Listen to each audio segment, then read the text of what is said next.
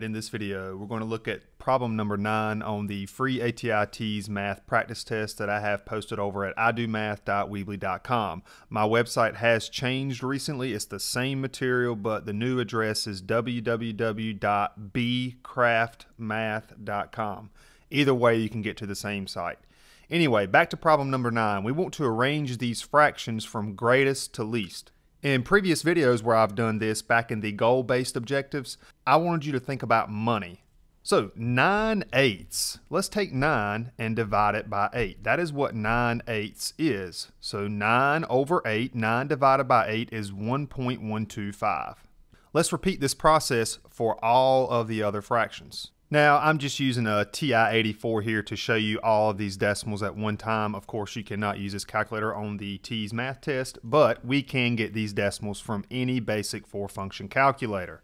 So if we think about money, the biggest one, greatest to least, the biggest one I see money-wise, I think of that as like a dollar and 13 cents roughly. This is $2.33. This is a dollar and 25 cents. This is roughly 83 cents. And this is around a dollar and 42 cents. So with that said, the greatest one that we see here is the $2.33. So that is the 7 thirds. We're going from greatest to least. The next one we have is going to be the $1.42 roughly. That's the 17 over 12 followed by the 5 fourths, that's the dollar and 25 cents. Then we have the 9 eighths, that's the dollar and 13 cents. And then last but not least, the 5 over 6. Now the 5 over 6 should definitely be our least one because that's the only fraction up here that is not improper. All of these other fractions up here are improper fractions, meaning our numerator is bigger than our denominator. So all of those fractions are guaranteed to be bigger than 1. Whereas the 5 6 that fraction is not improper. This fraction here, 5 over 6, when your numerator is smaller than your denominator, that fraction is guaranteed to be less than 1. So there's our solution, but I do want to show you another way of doing this without having to rely on thinking about money. Let's look at all of these fractions again, and let's look at the denominators. We got an 8, a 3, a 4, a 6, and a 12. The number 24 is a common denominator to all of these numbers. In fact, it is the least common denominator or also referred to as the least common multiple.